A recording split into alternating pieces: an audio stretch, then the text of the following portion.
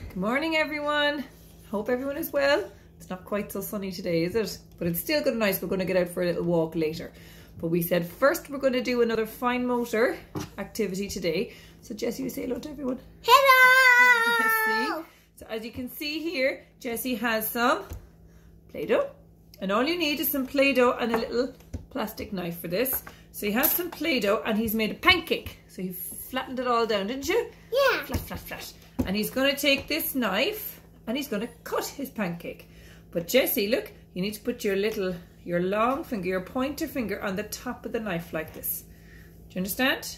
Yeah. Now, see if you can cut your pancake. Good boy. So we'll cut it in half. Very good. Now, do you want to try and make another shape? What about trying to make a square?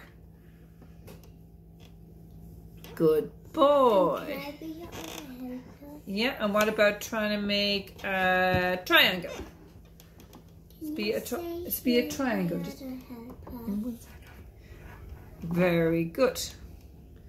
There we go, look, we've made a little triangle. So we're going to try and make lots of different shapes with our pancake and our knife. Okay, so just try cutting loads of different ways, nice and gentle, forward and back your Play-Doh, all yeah, right? Mommy, What you else you tell got? Oh, good boy. There you go, perfect. Okay, so would you want to say bye-bye to everybody? Bye bye. So come in and say goodbye to everybody, look. Goodbye.